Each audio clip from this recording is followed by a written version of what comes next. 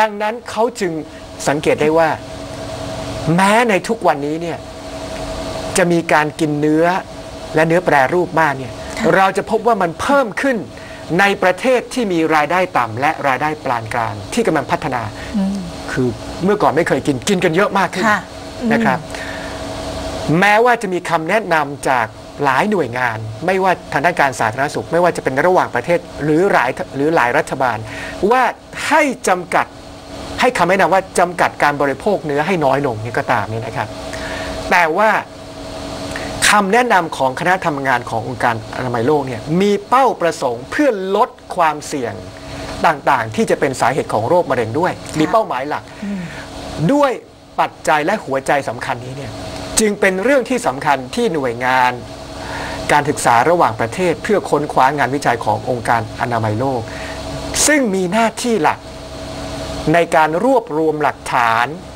จัดหาหลักฐานที่เป็นทางวิทยาศาสตร์ ประกาศอย่างเป็นทางการถึงความเสี่ยงโรคมะเร็ง จากการกินเนื้ออและเนื้อแปรรูปไปศึกษามาค่ะปีที่แล้วก็พูดอย่างนั้นนะครับอืม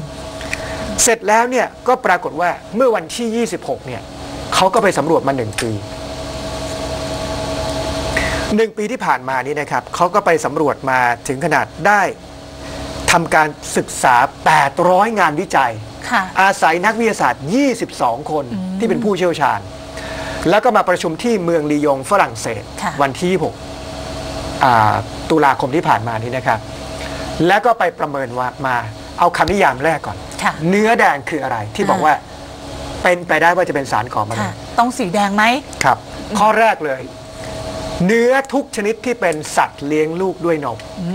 มสัตว์ไหนก็ตามที่เลี้ยงลูกด้วยนม เนื้อเหล่านั้นให้นับเป็นเนื้อแดงค่ะ ได้แก่เนื้อวัว แล้วรวมถึงกล้ามเนื้อมันนะครับ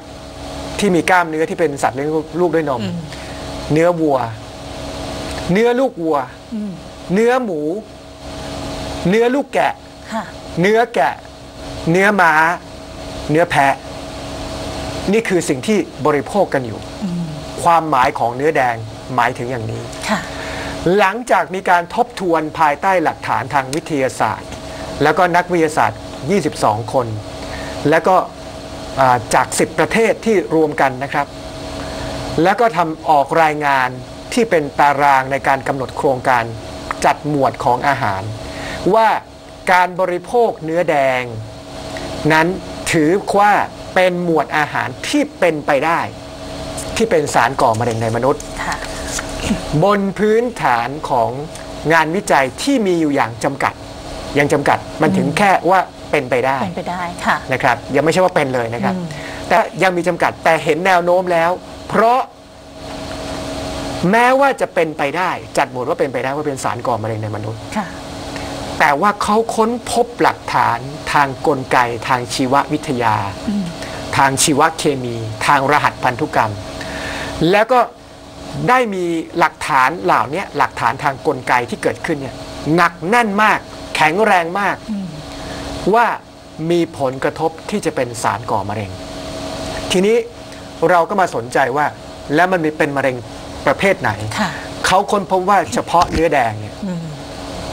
เป็นสารถูกตั้งข้อสังเกต พุ่งเป้าไปที่มะเร็งลำไส้อืมแล้วก็ ไม่ใช่แค่มะเร็งลำไส้ แต่ยังไปพบความสัมพันธ์อื่น ๆ ที่พบเจออีก ก็คือมะเร็งตับอ่อนและมะเร็งต่อมลูกหมากอืมคือมะเร็งลำไส้เนี่ยเข้าใจได้เลยว่ามันย่อยยาก ครับ แล้วก็มีปัญหาเยอะอืมโดยเฉพาะสัตว์เลี้ยงลูกด้วยนม เพราะมนุษย์ก็เป็นสัตว์เลี้ยงลูกด้วยนม เหมือนกับกินสัตว์ไฟล่ำเดียวกันอืมอันนี้ข้อแรกเลยนะครับค่ะต่อมา processed meat ค่ะคือเนื้อแปรรูปอืมนิยามคืออะไรเพื่อเราจะได้เข้าใจเนี่ยนะครับ เนื้อแปรรูปเนี่ยความหมายก็คือ เนื้อทั้งหลายที่ทำมานำมากลายสภาพค่ะผ่านการใช้เกลืออ่าผ่านมีการใช้เกลือนะ แล้วก็การบ่มอืมการหมักค่ะการรมควันการรมควัน รวมถึงการกระบวนการถ นอมรักษาอาหาร ถนอมอาหาร ทั้งปวง ทั้งการใส่กลิ่น สี และเครื่องปรุงรสทั้งหลายค่ะเพื่อพัฒนาการถนอมอาหาร อะไรก็ตามที่ใส่เข้าไปค่ะให้มันเก็บไว้ได้นานครับ และที่น่าสนใจก็คือว่า เวลาเราคิดถึงเนื้อแปรรูปเนี่ยนะครับ เนื้อแปรรูปส่วนใหญ่เนี่ย เราจะนึกถึงหมูและเนื้อวัวๆค่ะแต่ว่าความจริงแล้วเนี่ย ยังมีความหมายนอกจากการพูดถึงเนื้อวัวหรือเนื้อแดงด้วย รวมถึงพวกเนื้อสัตว์ปีกเครื่องในทั้งหลายอืมนะครับ เช่น อวัยวะภายใน เครื่องในสัตว์ค่ะตับอ่าฮะตับบดอืมอะชัดเจนขึ้นไหมชัดเจนเลยตับบดอ่าเลือดค่ะนะครับ ถือนับเป็นเนื้อแปรรูปทั้งหมด พวกแบบนักเก็ตอะไรอย่างนี้นับไหมคะ นับครับอืมเอาละคืออะไรก็ตามที่ไม่ใช่เนื้อมันผ่าไม่นใช่กระบวนการมาแล้วผ่านกระบวนการอ่ทีนี้เขาก็บอกว่ายกตัวอย่างหน่อยสิว่าคืออะไรบ้างค่ะถ้าองค์การอนามัยโลกยกตัวอย่างเนี่ยคือฮอทดอกค่ะแฮมอืมไส้กรอกนะครับ เนื้อนะครับแล้วก็อวัยวะภายในของพวกเนื้อสัตว์ทั้งหลายค่ะเนี่ยนะครับ แล้วก็รวมถึงเนื้ออะไรก็ตามที่ใส่กระป๋อง ค่ะ แล้วก็เนื้อกึ่งสำเร็จรูปพร้อมปรุง นึกถึงอะไร เออคุณเชียงอะไรอย่างนี้นับไหมคะ นับด้วย ใช่ครับ แล้วก็ยังรวมถึง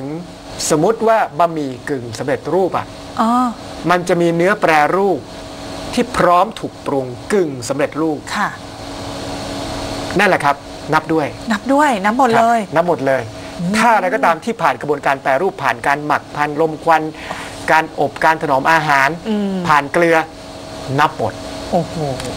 และทีนี้เขานับว่ายังไงเนื้อแปรรูปที่ว่านี้ อ่าเนื้อแปรรูปที่ว่านี้ถูกจัดอยู่ในหมวดสารก่อมะเร็งในมนุษย์กลุ่มที่หนึ่ง ค่ะ และยืนยันว่าบนฐาน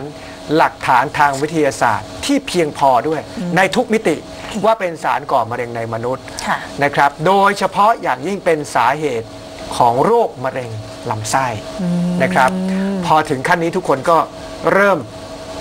คิดแล้วว่าเราควรจะกินหรือไม่ควรกินนะครับ ทีนี้เขาก็บอกว่าอย่างนี้ครับ การบริโภคเนื้อและผลกระทบของมัน หมวดนี้เขาอธิบายจากการแถลงครั้งนี้ว่า เนื้อเนี่ยมีการกินกันที่มีความหลากหลายมาก ตั้งแต่กินเปอร์เซ็นต์น้อยๆมาก จนไปถึงร้อยเปอร์เซ็นต์บางประเทศนี่บางชุมชนนี่กินกินแต่เนื้อค่ะนะครับ แล้วก็ใครก็ตามที่กินเนื้อแดงก็ขึ้นอยู่กับแต่ละประเทศนะครับ แล้วก็ขึ้นอยู่กับว่าบางทีกินเนื้อแดงน้อย เพราะว่ากินเนื้อแปรรูปเยอะค่ะเพราะมันสัมพันธ์กันนี่อ่าจริงมันเป็นกลุ่มเนื้อเดียวกันใช่ไหมครับ ในที่สุดเนี่ยเขาก็สรุปเลยว่า ผู้เชี่ยวชาญทั้งหลายต่างสรุปว่า ทุกๆ 50 กรัม ของเนื้อแปรรูป 50 กรัม นิดเดียวเองนะค่ะ5ขีดอะคุณแพทอืม50กรัมที่กินไปทุกวันทุกวันเนี่ย จะเพิ่มความเสี่ยงมะเร็งลำไส้ 18%โอ้โห คือหลาย ๆ ท่านที่ชอบทานฮอทดอก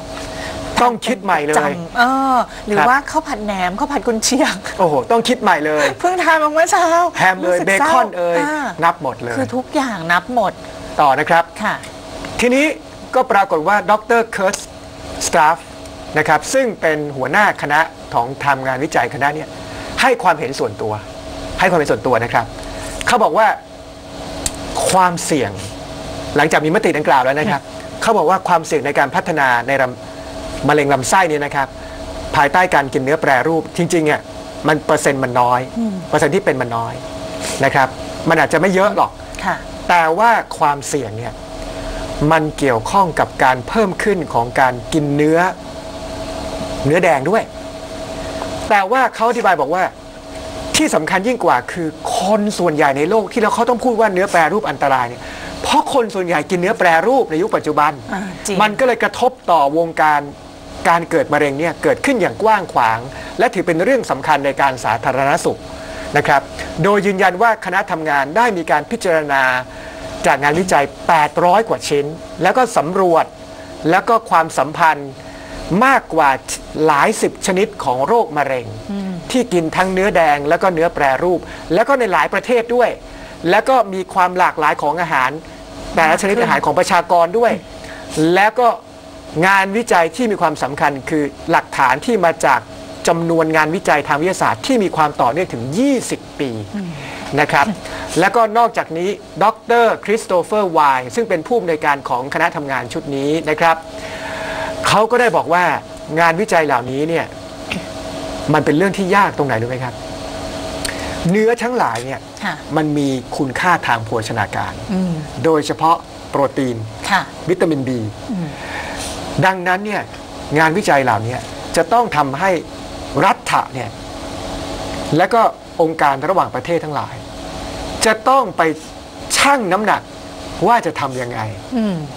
ถึงจะเกิดความสมดุล ระหว่างโทษหรือความเสี่ยงของเนื้อกับประโยชน์ของมันโอ้โห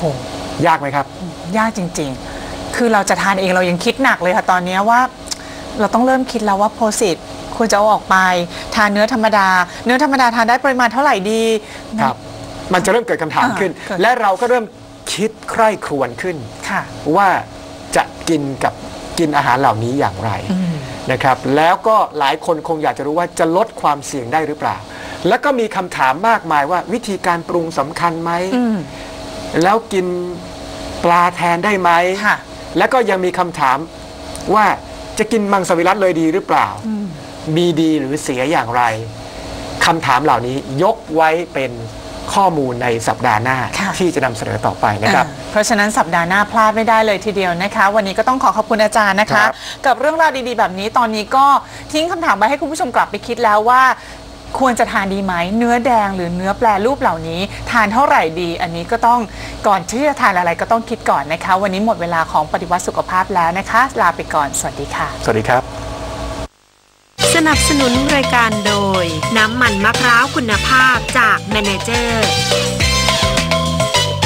เครื่องฟอกอากาศแมเนเจอร์ฟอกสะอาด อากาศสดชื่นตรวจเลือดเปลี่ยนชีวิต ตรวจสุขภาพโดยไม่ต้องอดน้ำอดอาหารกับแมเนเจอร์แลบเซ็นเตอร์